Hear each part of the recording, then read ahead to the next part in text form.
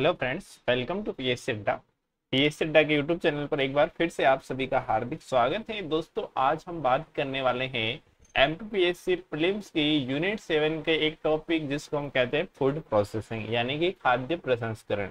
दोस्तों, इस प्लेलिस्ट में हम M P P S C prelims की यूनिट सेवन को कंप्लीट कर रहे हैं और आज का हमारा टॉपिक है, यानी कि पच्चीसवा वीडियो जो बन रहा है, वो बन रहा है खाद्य प्रसंस्करण के ऊपर। तो दोस्तों, वीडियो को अंत तक ज़रूर देखें ताकि फ़ूड प्रोसेसिंग से, खाद्य प्रसंस्करण से जो भी प्रश्न एग्ज़ाम में बनने वाले हैं, वो क्वेश्चन आप सही कर दें और जितने भी प्रश्न पहले बन चुके हैं, उसी बेसिस पर हम सारा डेटा जो है आपके लिए लेकर आए हैं।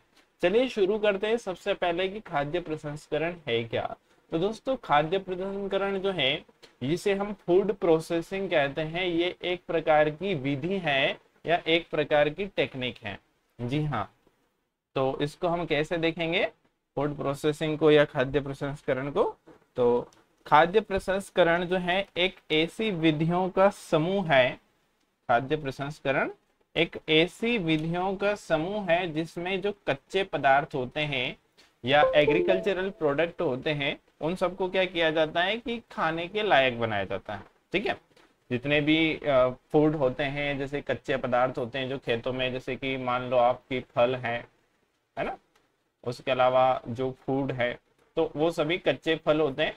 उन सभी को क्या करते हैं कि खाने के योग्य तैयार करते हैं और तैयार उत्पाद में उनको बदला जाता है। जैसे कि आम होता है तो आम से अचार बनाया जाता है, मुरब्बा बनाया जाता है, जैसे आंवले से उसके अलावा जितने भी डेयरी उत्पाद होते हैं, वो बनाए जाते हैं। डिब्बा बंद भोजन बनाया जाता है, चिप्स बनाया जाता है, सब्जियों का प्रसंस्करण किया जाता है, पेय पदार्थ होते हैं।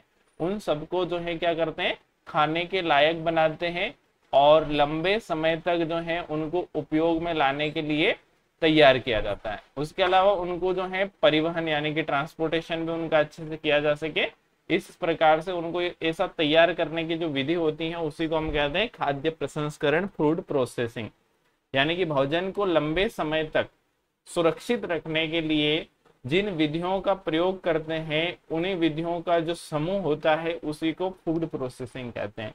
जिसमें फ्रूट्स यानी कि फल फ्रूट्स भी आ जाते हैं, भोजन भी आ जाता है, पेय पदार्थ भी आ जाते हैं, डेयरी उत्पाद भी आ जाते हैं तो ये सभी जो है इसी के अंतर्गत आते हैं। जैसे कि हम देखते हैं कि जो, जैसे आलू हैं तो आलू से स्नैक्स बनाए जा रहे हैं चिप्स बनाई जा रही हैं, ये क्यों बनाए जा रहे हैं? ताकि इनको लंबे समय तक जो है स्टोर कर सके और मार्केट में पहुँचा सके। इससे क्या होगा? तो भैया, जो फैक्ट्री जो कंपनी को बना रही है, वो भी एक मोटा मुनाफा कमाएगी और जिन किसानों के घरों में आलू सड़ जाते थे, उन किसानों की जो आय है, वो भी बढ़ जाएगी। उसके अलावा इस कंपनी में बहुत सारे मजदूर काम कर रहे होंगे तो उन मजदूरों को भी जो है एक आय मिलेगी, यानी कि उनको जो है रोज़गार मिलेगा। और जो व्यक्ति इन आलू को डायरेक्टली नहीं खरीद सकता डायरेक्टली नहीं खा सकता, वो as a food as a snacks as a chips इनको खाएगा। तो यहाँ पर क्या हो रहा है कि इनका प्रसंस्करण हो रहा है। अब सबसे पहले तो हम क्या कर रहे हैं कि आलू जो है उनको साफ़ कर रहे हैं कंपनी में, फिर उससे जो है चिप्स बनाई जा रही है। अब चिप्स को जो है ऑयल में, यानी कि तेल में उसको निकाला जा रहा है तो वो जो है खाने के लायक हो रही है। बट ऑक्सीजन के संपर्क में आने से वो चिप्स जो है कुछ समय के बाद खराब हो जाएगी, इसलिए उसको क्या कर रहे हैं? पैक पैकेजिंग कर रहे हैं उसकी। तो जो पैकेजिंग कर रहे हैं, उससे क्या हो रहा है कि वो लंबे समय तक जो है स्टोर हो जाएगी। तो ये जो प्रोसेस होती है पूरी किसी भी कंपनी के अंदर, किसी भी इंडस्ट्रीज़ के अंदर, उसी को हम क्या कहते हैं? फ़ूड प्रोसेसिंग कहते हैं। ठीक है? तो आई थिंक आप लोगों को फ़ूड प्रोसेसिंग क्या होता है, वो समझ में आया होगा। अब इसका इंपोर्टेंस क्या है, क्या महत्व है, किस वजह से फ़ूड प्रोसेसिंग जो है शुरू हुई है? इंडिया में अगर हम देखें तो 100 परसेंट जो उत्पाद होते हैं, जैसे कि अगर हम बात करें फल फ़ूड यानी कि भोजन या भोज्य पदार्थ या खाद्य पदार्थ जो होते हैं, और सब्ज़ियाँ, इनके उत्पादन में इंडिया जो है सेकेंड लार्जेस्ट कंट्री है वर्ल्ड में। सबसे फ़र्स्ट पे आता है चाइना अब चाइना की अगर हम बात करें तो चाइना अपने 60 टू 70 परसेंट जो फ़ूड है, उसको फ़ूड प्रोसेसिंग में डालता है, यानी कि उनका खाद्य प्रसंस्करण करता है। इंडिया में, अभी वर्तमान में अगर हम देखें तो 10 परसेंट भी जो फ़ूड है, उसका प्रसंस्करण नहीं किया जाता। यानी कि ये बहुत अच्छा एरिया है, बहुत अच्छा क्षेत्र है, जहाँ पर क्या कर सकता है इंडिया ग्रोथ कर सकता है। और अगर हम देखें तो अपनी जो जीडीपी है, उसमें लगभग छह परसेंट के आसपास योगदान है कृषि क्षेत्र का। तो फ़ूड प्रोसेसिंग के माध्यम से इस योगदान को क्या कर सकते हैं? और बढ़ा सकते हैं, इसको डेवलप कर सकते हैं। ठीक है? तो एक तो ये महत्वपूर्ण फैक्ट हो गया। अब इससे क्या होता है? क्या इंपोर्टेंस हो गया? तो ये पदार्थों को खराब होने से बचाता है। जब हम फ़ूड प्रोसेसिंग कर लेते हैं तो जो भोज्य पदार्थ हैं, वो लंबे समय तक खराब नहीं होते हैं, यानी कि उनको खराब होने से बचाने का काम करता है। जैसे कि मान लो कि गेहूँ है। अब किसान के घर बोरे में रखे हुए हैं तो गेहूँ जो है, लगभग एक साल के बाद खत्म हो जाएँगे। ठीक है? सड़ने लगेंगे। क्यों? क्योंकि उनके ऊपर जो है वातावरण का प्रभाव, यानी कि गैसेस का प्रभाव भी है। उसके अलावा अगर हम देखें तो वहाँ पर जो सूक्ष्म जीव है गेहूँ के पास में, उनको भी रिमूव नहीं किया गया। अब हम इनकी सॉर्टिंग करते हैं, जैसे फैक्ट्रीज होती है, वहाँ पर गेहूँ की सॉर्टिंग करते हैं। उसके बाद चार से पाँच साल तक के लिए इस गेहूँ को जो है खाने योग्य रखा जा सकता है, सड़ने से बचाया जा सकता है। तो इसकी सॉर्टिंग हो रही है भैया। कहाँ पर? फ़ूड प्रोसेसिंग के अंतर्गत। तो वो सॉर्टिंग क्यों कर रहे हैं? ताकि इसके जो सूक्ष्म जीव है, उसको खत्म किया जा सके और उसको ऐसा पैकिंग किया जा सके, एक केमिकल्स उसमें मिलाया जा सके ताकि वो लंबे समय तक जो है खराब ना हो। ठीक है? पहला जो इसका इंपोर्टेंस है, पहला जो इसका लाभ है, वो अपने को समझ आ गया। दूसरा, जो भोज्य पदार्थ होते हैं, उनमें पोषक तत्वों को बढ़ाने में भी इसका इंपोर्टेंस होता है। जैसे मान लो कि आप गेहूँ हैं तो गेहूँ से क्या बना रहे हो? फ़ूड बना रहे हो, भोजन बना रहे हो।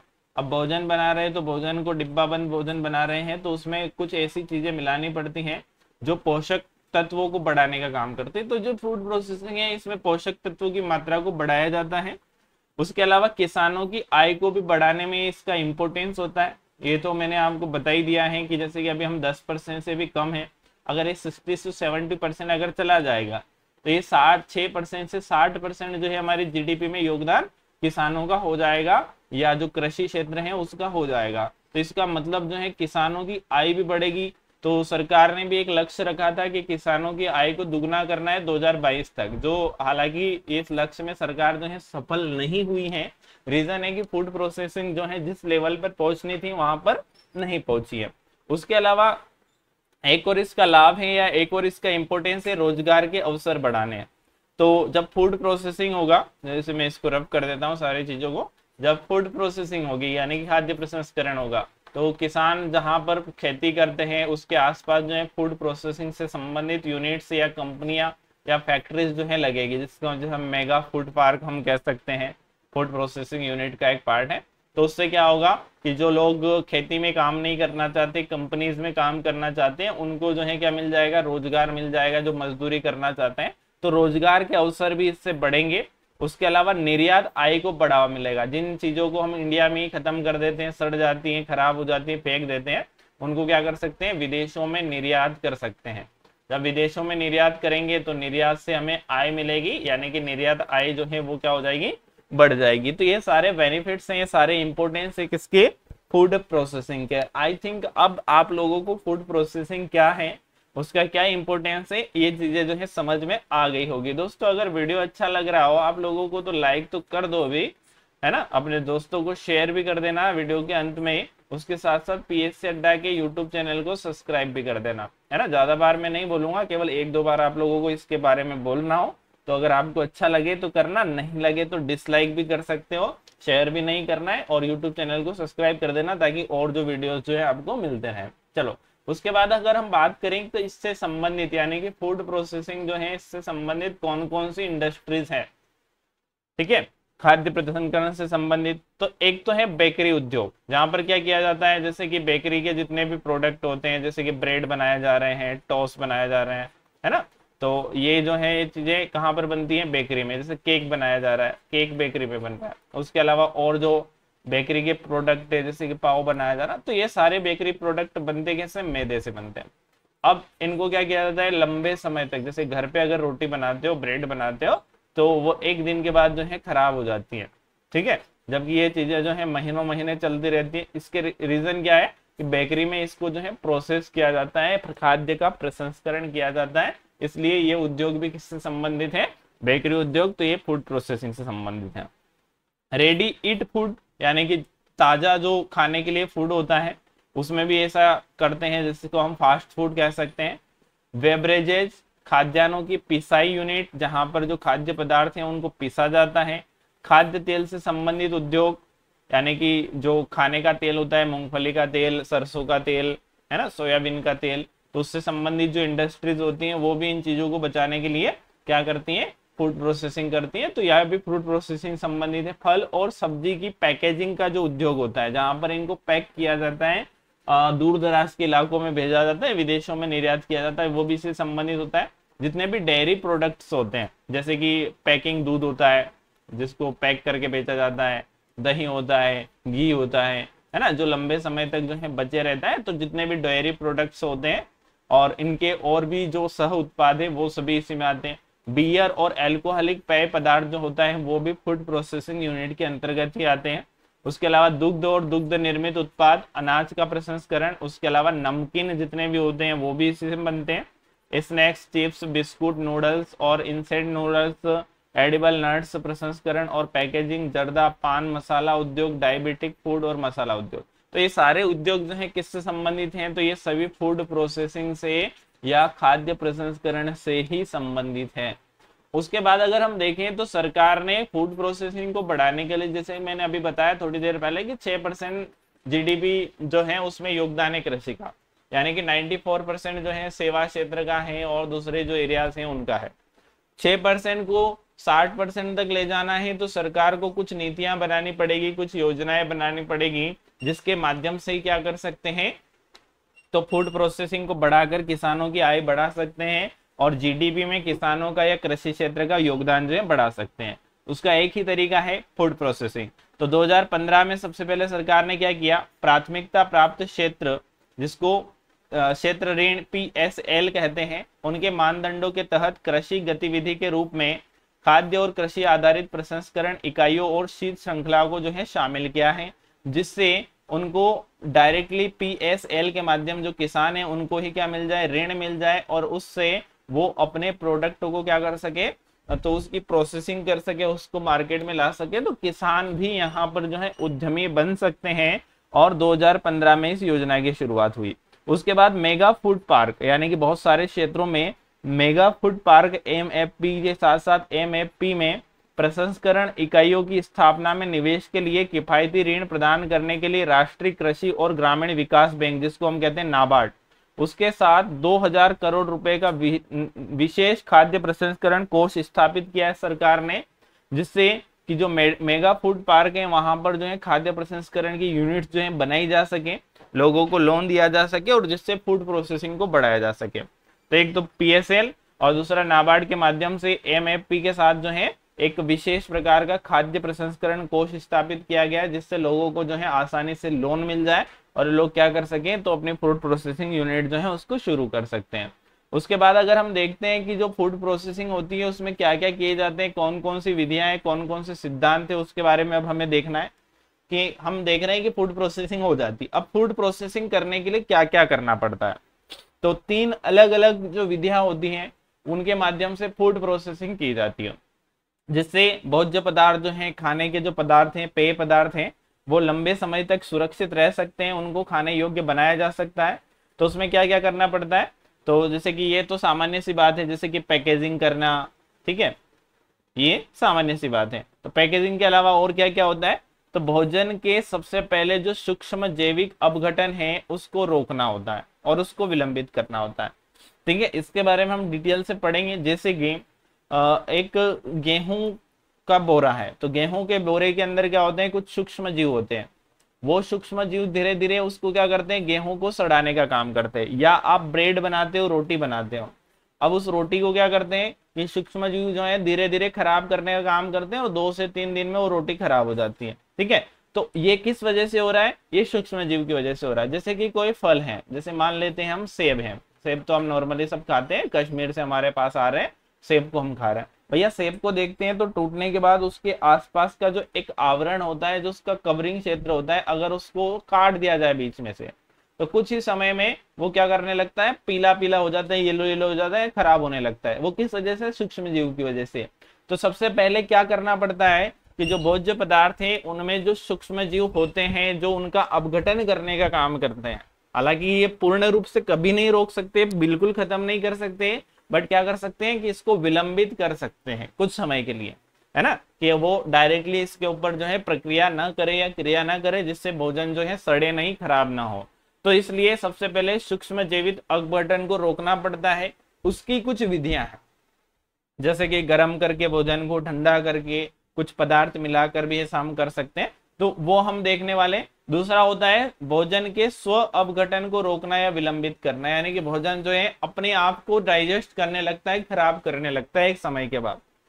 तो उसको रोकने के लिए, उसको विलंबित करने के लिए क्या क्या कर सकते हैं? उन विधियों के बारे में, जैसे कि कुछ केमिकल्स मिलाकर उस भोजन को आपस में क्रिया करने से रोक सकते हैं। जब वो आपस में क्रिया करने से रुक जाएगा तो वो सड़ेगा नहीं, ठीक है? तीसरा होता है जो कीड़े होते हैं, जो जानवर होते हैं, यांत्रिक कारण से क्षति की रोकथाम करना जैसे कि जो कीड़े लग जाते हैं भोजन में तो कीड़े कब लगेंगे? जब उसमें कोई सुरक्षा आवरण नहीं होगा। जैसे कि एक फल है, अब फल में कीड़े पड़ रहे हैं। कीड़े क्यों पड़ रहे हैं? क्योंकि उसको हमने कवर नहीं किया है, उसको कुछ केमिकल्स में नहीं डुबाया है। ये केमिकल्स के साथ उसको जो है कनेक्ट नहीं किया है। जानवर, है ना? तो जानवर भी इसको खराब करते हैं। यांत्रिक कारण, कुछ मशीनरी कारण से भी भोजन को जो है क्षति पहुँच सकती है तो इनसे भी रोकथाम करने की आवश्यकता है। तो इन तीन में से जो दो, ऊपर के दो हैं, ये फ़ूड प्रोसेसिंग के महत्वपूर्ण अंग हैं, महत्वपूर्ण विधियाँ इनके बारे में हम जानने वाले हैं। तो सबसे पहले हमें सूक्ष्म जैविक अपघटन को रोकना है, और सूक्ष्म जैविक अपघटन से रोकथाम के लिए हम क्या क्या कर सकते हैं? तो सबसे पहले होता है सूक्ष्म जीवों को बाहर रखकर, जिसे कहते हैं अपुतिता या निरोध, ठीक है? दूसरा होता है सूक्ष्म जीवों को हटाकर, यानी कि छानना या फिल्ट्रेशन करके तीसरा होता है सूक्ष्म जीवों की वृद्धि और गतिविधि में बाधा डालकर, जिसे कहते हैं अवायवी स्थिति बनाकर। और चौथा होता है सूक्ष्म जीवों को मारकर, यानी उच्च तापमान के संपर्क में। ठीक है? सबसे पहला होता है सूक्ष्म जीवों को बाहर रखकर। ठीक है? अब ये प्रोसेस कैसे होती है? यानी कि जिसको हम कहते हैं निरोध या अपुतिता एसेपिस जो है, ये कैसे होता है? जैसे कि एक सेब है। ठीक है? अब सेब इस प्रकार से पूरा तो नहीं बना पाऊँगा बट एज इट इज़ ऐसे मान लो सेब है। अब सेब के आसपास क्या होता है? कवर होता है। ठीक है? ये कवर क्या करता है? ये निरोध का काम करते हैं अपुतिता का काम करता है, जिससे सूक्ष्म जीव तो होते हैं बट इस कवर के बाहर होते हैं। तो सूक्ष्म जीवों को बाहर कैसे रख सकते हैं? कवरिंग करके। क्या कर सकते हैं? कवरिंग करके पैकेजिंग करके हम जो है सूक्ष्म जीवों को बाहर रख सकते हैं। जिसकी वजह से वो फ़ूड के पास नहीं पहुँच सकते और फ़ूड के साथ क्रिया नहीं कर सकते या फ़ूड को सड़ा नहीं सकते। ठीक है? जैसे कि चिप्स होती है तो चिप्स को पैक किया जाता है, पैकेजिंग की जाती है। अब पैकेजिंग में एक और ये होता है जब फ़ूड पैकेजिंग की जाती है तो उसमें नाइट्रोजन गैस भर दी जाती है, ऑक्सीजन को रिमूव कर देते हैं। इसका रीजन होता है कि भोजन जो है, ऑक्सीजन के साथ क्रिया करके ऑक्सीडेशन की प्रोसेस जो हो जाती है और उससे भोजन खराब हो जाता है। नाइट्रोजन अक्री गैस होती है, जो फ़ूड पैकेजिंग में जो है प्रयोग की जाती है, और ये वाला प्रश्न भी एमपीपीएससी में पूछा जा सकता है कि फ़ूड पैकेजिंग में किस गैस का प्रयोग करते हैं। तो नाइट्रोजन गैस का प्रयोग करते हैं और क्यों करते हैं? क्योंकि ये अक्री गैस होती है। तो सबसे पहले क्या करना होता है? पैकेजिंग करनी होती है, निरोध करना होता है अपुतिता करनी होती है, जिससे क्या हो जाए कि सूक्ष्म जीव भोजन के पास ही नहीं पहुँच सके। इससे उनको दूर कर सकते हैं। दूसरा होता है सूक्ष्म जीवों को हटाकर, यानी कि फिल्ट्रेशन की प्रोसेस छान कर हम क्या कर सकते हैं? सूक्ष्म जीवों को जो है भोजन से अलग कर सकते हैं। जैसे कि पेय पदार्थ होते हैं, दूध के प्रोडक्ट होते हैं, है ना? या डेयरी प्रोडक्ट होते हैं। उन सब में हम क्या कर सकते हैं कि सूक्ष्म जीवों को छान कर फिल्ट्रेशन की जो प्रोसेस होती है, उसके माध्यम से उनको अलग कर सकते हैं। जैसे कि दूध को छन्ने में छान रहे हैं तो जितने छोटे छोटे सूक्ष्म जीव होंगे वो दूध से क्या हो जाएँगे? अलग हो जाएँगे। जितने पेय पदार्थ होते हैं, उसको फ़िल्टर कर रहे हैं, उसको छान रहे हैं तो छानने से भी सूक्ष्म जीवों को जो है, अलग किया जा सकता है। तो ये दो विधियाँ हो गई। तीसरी विधि है सूक्ष्म जीवों की वृद्धि और गतिविधि में बाधा डालकर। तो उनकी वृद्धि और गतिविधि में कैसे बाधा डाल सकते हैं? तो उनको सूक्ष्म जीवों को जीवित रहने के लिए, सूक्ष्म जीव जो होते हैं, उनको जीवित रहने के लिए ऑक्सीजन गैस की आवश्यकता होती है। ठीक है? तो हम ऐसा कर सकते हैं कि वहाँ से जहाँ पर फ़ूड रखा हुआ है, वहाँ से ऑक्सीजन गैस ही रिमूव कर दें। जिसकी वजह से क्या हो जाएगा? सूक्ष्म जीव की वृद्धि रुक जाएगी, उनकी गतिविधि रुक जाएगी और अवायवी स्थिति बन जाएगी। जब अवायवी स्थिति बन जाएगी तो इसमें क्या होगा कि सूक्ष्म जीव वृद्धि नहीं कर सकते। तो वो वृद्धि नहीं कर सकते तो वो क्या हो जाएँगे? मर जाएँगे। उनकी गतिविधि खत्म हो जाएगी। जिससे क्या होगा? तो जिससे ये हो जाएगा कि फ़ूड जो है वो बच जाएगा सूक्ष्म जीवों के अपघटन से। तो इसमें क्या कर सकते हैं? तो इसमें जो है, एक तो पैकेजिंग जिसमें बता रहा हूँ आपको कि नाइट्रोजन मिला दो भैया ऑक्सीजन खत्म कर दो। जैसे कि आप चिप्स खरीद के लाते हैं, या कोई भी स्नैक्स खरीद के लाते हैं, कोई भी पैकेजिंग फ़ूड खरीद कर लाते हैं, अगर उसको खुला छोड़ दो कुछ समय के लिए तो खराब होने लगेगा, जबकि पैकेट के अंदर खराब नहीं होगा। उसका रीजन क्या है? पैकेट के अंदर नाइट्रोजन गैस होती है, जो अवायवी स्थिति होती है। और जब खुला छोड़ दोगे तो ऑक्सीजन मिल जाएगी ऑक्सीजन मिल जाएगी तो सूक्ष्म जीव अपनी गतिविधि करने लगेंगे और भोजन को खराब करने लगेंगे। नाइट्रोजन होगी तो यहाँ पर सूक्ष्म जीव तो होंगे बट वो गतिविधि नहीं कर सकते, जिसकी वजह से फ़ूड जो है लंबे समय तक जो है स्टोर कर सकते हैं, बचा कर रख सकते हैं या उसका परिरक्षण हम कर सकते हैं। अगला जो तरीका होता है दोस्तों वो होता है सूक्ष्म जीवों को मारकर अब सूक्ष्म जीव जो है, उनकी वृद्धि हम रोक सकते हैं, उनकी गतिविधि रोक सकते हैं, उनको मारा भी जा सकता है। जैसे कि दूध है अब दूध को हम क्या करते हैं? गर्म करते हैं। गर्म करने के लिए क्यों क्यों करते हैं? गर्म? ताकि दूध के अंदर जितने भी खराब पदार्थ हैं, यानी कि सूक्ष्म जीव हैं, वो सब मर जाए। गर्म करने के बाद फिर ठंडा कर लेते हैं तो गर्म करने से उसके अंदर के सूक्ष्म जीव मर जाते हैं। ऐसे पानी को भी गर्म करके जो है साफ़ किया जा सकता है। दूध को भी गर्म करके, भोजन को भी गर्म करके तो उच्च तापमान के संपर्क में लाकर, या निम्न तापमान निम्न तापमान या उच्च तापमान, जैसे कि जो फ्रीजर होता है, जो फ्रीज होता है, उसके अंदर भी भोजन खराब नहीं होता। उसका रीजन होता है कि जो सूक्ष्म जीव होते हैं, वो पाँच डिग्री से तीस डिग्री का जो टेम्परेचर होता है, इसके बीच में ज़्यादा जो है, डिग्री सेल्सियस का जो टेम्परेचर होता है, इसके बीच में ज़्यादा क्या करते हैं, वृद्धि करते हैं प्रोसेसिंग करते हैं। तो या तो पाँच डिग्री से तापमान कम कर दो फ्रीज में रख दो, या तीस डिग्री से ज़्यादा कर दो, गर्म कर दो। तो क्या हो जाएगा सूक्ष्म जीव जो है, मर जाएँगे, और जब वो मर जाएँगे तो यहाँ पर भी हम क्या कर सकते हैं, भोजन को बचा सकते हैं। तो सूक्ष्म जीवों को मारकर भी जो हम सूक्ष्म जैवी अपघटन जो है उसको रोक सकते हैं। तो आई थिंक ये जो चार अलग अलग तरीके हैं, जिसमें हम भोजन को सूक्ष्म जीवों से बचाते हैं या सूक्ष्म जीवों का अपघटन से रोकथाम करते हैं तो वो आपको समझ में आ गया होगा। अब हम देखते हैं स्व अपघटन यानी कि भोजन जो है खुद ही सड़ने लगता है। ठीक है? तो उसको रोकने के लिए हमें क्या करने पड़ते हैं? कुछ केमिकल्स होते हैं। वो फ़ूड के अंदर मिलाने पड़ते हैं। केमिकल्स यानी कुछ पदार्थ होते हैं, उनको मिलाना पड़ता है और उनको मिलाने के बाद जो है हम स्व अपघटन को रोक सकते हैं। तो सबसे पहले भोजन के अंदर जो एंजाइम होते हैं, उनको नष्ट या निष्क्रिय करके यानी कि ब्लांचिंग की जो प्रोसेस होती है, उसके माध्यम से हम फ़ूड को सड़ने से बचा सकते हैं या अपघटन से बचा सकते हैं। तो जैसे कि उदाहरण के तौर पर एक फल ले लो तो फल जो है, चाहे आप फ्रीज के अंदर रख दो चाहे आप उसको कहीं भी पैकेज करके रख दो, कुछ समय के बाद सड़ेगा सड़ेगा सड़ेगा। सड़ने का रीजन क्या है कि उसके अंदर जो एंजाइम्स होते हैं, वो एंजाइम क्या करते हैं कि उस फल को सड़ाने के लिए कार्य करते हैं। जैसे कि कच्चा फल है तो पड़ा रहेगा तो धीरे धीरे जो है पकने लगेगा, यानी कि हरा फल जो है पीला होने लगेगा। चाहे आप उसको पेड़ से गिरा दो तो भी वो खराब होता है। उसका रीजन क्या होता है कि उसके अंदर जो एंजाइम्स होते हैं, उसको नष्ट करते हैं, फल को सड़ाने का काम करते हैं, फल का अपघटन करते हैं। जिसकी वजह से हमें क्या करना पड़ता है कि उसके जो एंजाइम थे उसके अंदर उनको क्या करना पड़ेगा? निष्क्रिय करना पड़ेगा। उसके लिए ब्लाचिंग की प्रोसेस ब्लांचिंग की प्रोसेस होती है। तो ये क्या होती है? इसके बारे में हम जानते हैं। दूसरा, गैर एंजाइमी रासायनिक प्रतिक्रियाओं की रोकथाम में देरी। इनकी रोकथाम करना या देरी करना जिसको एंटीऑक्सीडेंट कहते हैं, इसमें कुछ केमिकल्स जो है, हम मिलाते हैं। तो ब्लांचिंग क्या होती है? तो छोटी अवधि के लिए जो डिब्बा बंदी है, उसमें फलों और सब्जियों को सबसे पहले उबलते पानी या भाप से उपचार के तुरंत बाद ठंडा करने को ब्लांचिंग कहते हैं, जिसकी वजह से उनके जो एंजाइम होते हैं वो क्या हो जाते हैं, निष्क्रिय हो जाते हैं। जैसे कि हमने क्या किया कि कोई भी सब्ज़ी ली, कोई भी फल लिया, उसको बंद करना है, पैकेजिंग करनी है, डिब्बा बंद करना है। ज़्यादा समय के लिए तो नहीं हो सकता, कम समय के लिए।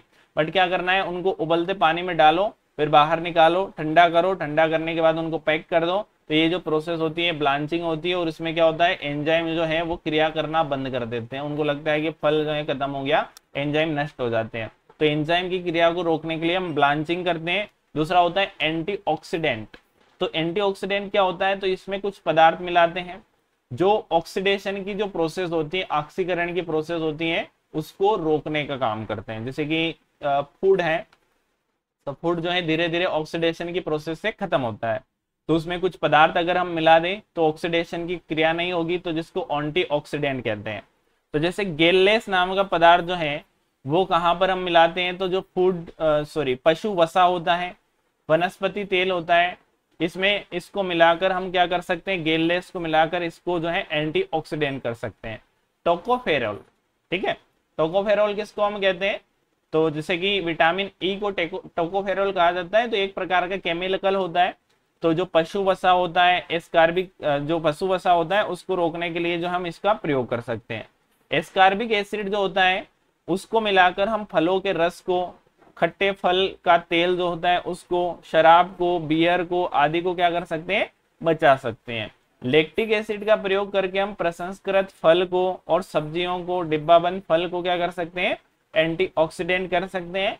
फास्फोरिक एसिड की मदद से हम वनस्पति तेल को, पशु वसा को और कोला, पेय पदार्थ जो है, इनको हम क्या कर सकते हैं? बचा सकते हैं। तो ये सारे जो है तरीके थे, जिनके माध्यम से हम फ़ूड प्रोसेसिंग कर सकते हैं। आज के वीडियो में हमने देखा कि फ़ूड प्रोसेसिंग होती क्या है, उसका क्या इंपॉर्टेंस है, सरकार की क्या क्या नीतियाँ हैं फ़ूड प्रोसेसिंग के लिए, और खाद्य परिरक्षण हम कैसे कर सकते हैं कौन कौन से तरीके होते हैं क्या क्या उसमें करना पड़ता है। उम्मीद करता हूँ दोस्तों वीडियो जो है आपको अच्छा लगा हो। वीडियो अच्छा लगा हो तो लाइक ज़रूर कर, अपने दोस्तों में शेयर करें। पी एस अड्डा के यूट्यूब चैनल को सब्सक्राइब ज़रूर करें।